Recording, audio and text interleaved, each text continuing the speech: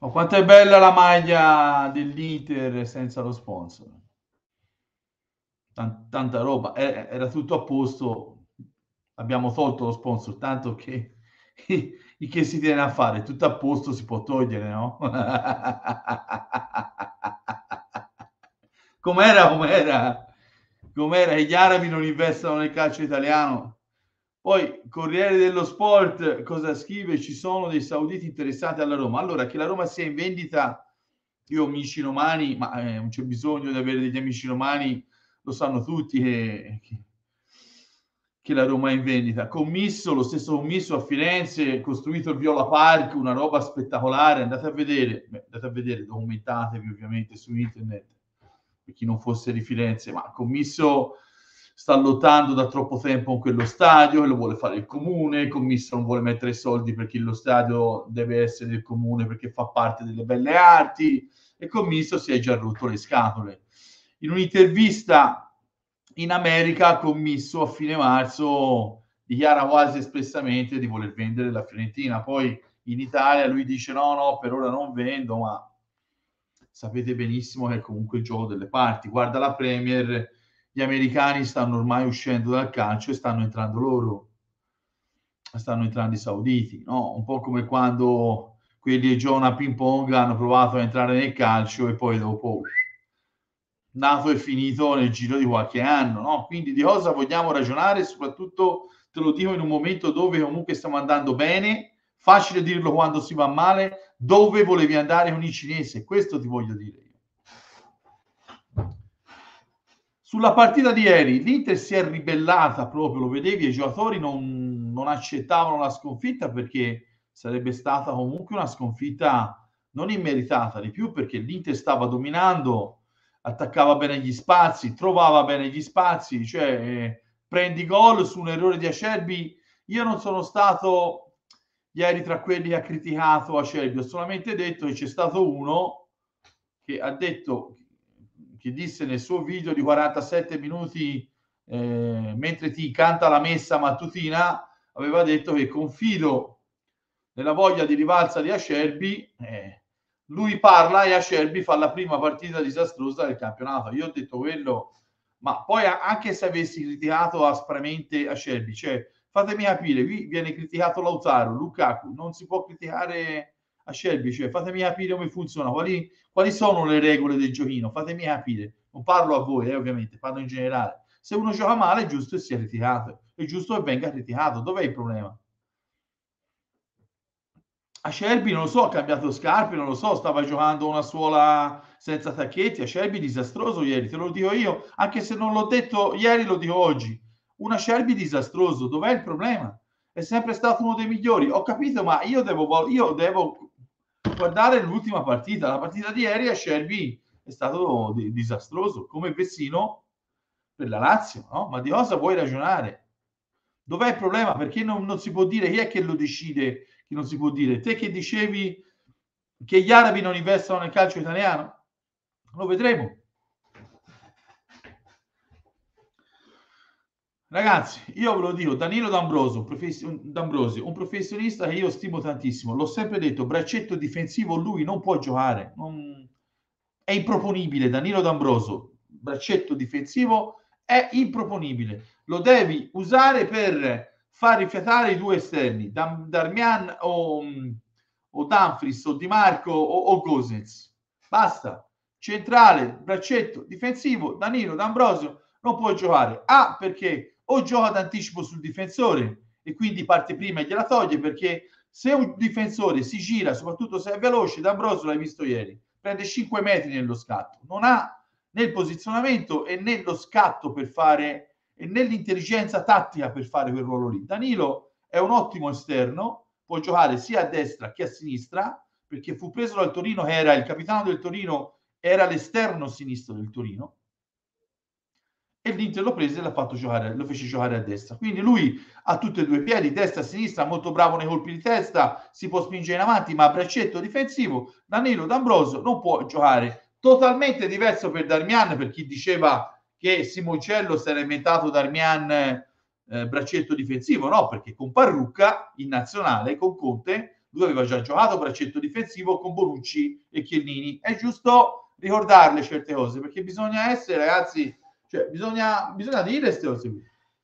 Bisogna essere onesti. Barella, grandissima partita, molto bene Brozovic. Il ballerino, io, cioè, ragazzi, cioè io non ce l'ho con il ballerino, ma quando quest'estate parecchi tifosi dell'Inter pensavano di aver preso Agüero, io, io mi sono preso tanti di quegli insulti quando dicevo prendiamo Turam rotto, ma questo qui lasciamolo alla Lazio. E stessa cosa dicevo di Gosens, che tra l'altro apro una parentesi su Gosens in un anno e mezzo di Inter, ieri Gosens ha fatto la migliore cosa da quando è arrivato. Entra fa gol, purtroppo si fa male, spalla lussata, dovrà stare fermo una quindicina di giorni, ma Gosens ieri fa la migliore cosa in un anno e mezzo da quando è all'Inter. Sul ballerino, poi vedi, anche sfortunato perché sul gol lui fa un grande movimento. Sul gol lui attacca lo spazio in maniera veramente cioè, ottima. Gli annullano il, gol, cioè, annullano il gol a Mkhitaryan, eh? lui dopo sbaglia un passaggio, non lo so, sbaglia un cross e l'ha buttata nella terrazza della signora. Dove l'ha buttato quel cross? E si butta giù. Incominciano i primi fischi perché io ho sentito lo fischiavano e lui, ragazzi, ballerino è così, un giocatore da 8-10 milioni. Purtroppo è questo. E questa coppia Lukaku-Correa difficilmente ha funzionato, se non in una partita. La coppia titolare ora indipendentemente dal turnover che ha fatto Inzaghi, che può essere servito con dei danni, però perché ci sono stati dei danni, eh, mentre lui ha fatto il turnover, soprattutto in campionato, può essere servita magari a far entrare in forma il parco attaccanti, diciamo sì, perché il ballerino in forma non entra mai.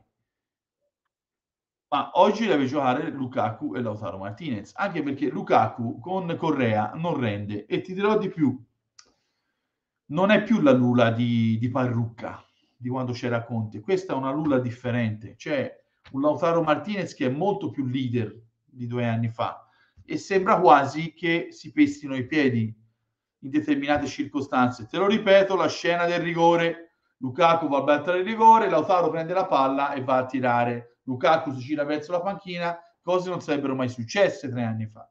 Giusto? Lukaku poi non ha una squadra che gioca per sé come con Parrucca. Cioè, il gioco dell'Inter è improntato per un 80% tutto su Lukaku. E poi aveva una grandissima spalla come Lautaro Martinez, no? Lukaku in questa squadra qua, ieri secondo me è stata la migliore partita forse del 2000, no, sicuramente la migliore partita di Lukaku del 2023 perché non avendo né Belgio lascia perdere i giapponesi, cine, lascia dove volevi andare con il cinese, lascia perdere i Belgio, perché tanto me lo dicono, eh, ma il, Belgio è un altro discorso, c'ha dei fenomeni dietro, anche lì, nel Belgio c'ha, c'ha 4-5 fenomeni tra centrocampo e tre quarti, che spesso, guarda i gol che fa in nazionale Lukaku, spesso deve appoggiare solo la palla in rete, è un gioco diverso, ma anche lì tutti i fenomeni, diciamo tutti quelli con i piedi buoni, giocano per lui, giocano per fargli fare gol. Nell'Inter è diverso, non ci sono tutti quei piedi buoni e sono nel Belgio. Che nel Belgio prendano palla, tic tac, tu boom, verticalizzano, boom, boom, cross ma precisi. No, i cross vanno nel fiume, come si fanno noi. O vanno a rompere i finestrini delle macchine parcheggiate fuori Salzino. Te la fa breve, inutile girarci intorno. Lukaku tecnicamente è quello che lei. c'è un allenatore che gioca tanto di fraseggi e non gioca solo su di lui. Se lui vuole rendere, vai a riprenderti il video che ha fatto un coglione come me questo inizio dell'estate. Occhio perché Inzaghi non è parrucca, ho scritto a Lukaku. Stai attento perché tatticamente non, non potrai avere tutti i benefici che avevi con Conte, Lukaku, perché Inzaghi non gioca tutto su di te se il belga vuole fare una bella figura in quest'Inter, te la metto proprio, guarda, chiara chiara, spiccia spiccia, deve giocare da gregario come ha fatto ieri. Sponde, deve dare una mano, deve venire più dietro, non può fare il leader d'attacco Lukaku in questa squadra, per come gioca l'Inter. E per i giocatori che ha l'Inter, non per nulla, lui ieri gioca in maniera molto umile ed è secondo me con Barella il migliore in campo. È così che deve giocare Lukaku ma è anche così che deve giocare l'Inter davanti da oggi in poi. Lukaku, Lautaro Martinez. Lukaku, Lautaro Martinez. Mancano 10 partite. Di cosa vogliamo ragionare? Lukaku e Lautaro Martinez. Basta. Basta. Ma se Lukaku, che secondo me non rimarrà all'Inter perché non verrà riscattato ovviamente, capisce che non può più fare quello che faceva con Conte e nemmeno quello che fa in nazionale, ma se capisce deve giocare in maniera più umile come ha fatto ieri, allora sì che Lukaku in una partita ti può dare tanto. Ma se sta lì, aspetta le palle, aspetta i cross, aspetta le verticalizzazioni, ciao mamma, e non la struscia, schiacciato alla porta, spazi stretti, non la struscia, deve tornare dietro, fare le sponde, spostarsi sulla fascia, allora sì, allora sì. E sembra che ieri lo abbia capito. Alla fine del primo tempo, nella chat, potete chiedere ai ragazzi che scriveranno nei commenti sotto i video, quando rischiamo di prendere il secondo gol, sempre per errore di Acerbi, ho detto questo è un segnale ottimo. Questi sono segnali ottimi nel calcio. Questa partita non la perderemo. Ed è giusto così, perché l'Inter si è proprio ribellata alla sconfitta. È un Inter che a livello atletico va a mille all'ora e casca a fagiolo questa condizione fisica. Mi capisci? L'Inter ha tanta condizione fisica ora, soprattutto per le ultime dieci partite che sono tutte da dentro fuori. Ma di cosa vogliamo ragionare? Ma è questo quello che secondo me Inzaghi dovrebbe fare. Poi siamo tutti bravi dalla poltrona. Basta il gioco delle coppie. Lukaku, Lautaro Martinez. Lukaku, Lautaro Martinez. Basta. Poi magari in campionato, ne so, fa un esempio, vinci 2-0, sessantesimo lo togli, ma la coppia titolare deve essere Lautaro, Lukaku, Lautaro, Lukaku. Anche perché, ripeto, il leader d'attacco ormai è diventato è Lautaro Martinez, non è Lukaku. Cioè, la gente allo stadio invocava Lautaro Martinez, cioè è lui il leader d'attacco. Infatti entra lui e la partita in termini ovviamente di realizzazioni cambia perché Lautaro Martinez è fondamentale, molto, è più importante di Lukaku per questa squadra. Parliamoci chiaro, ragazzi.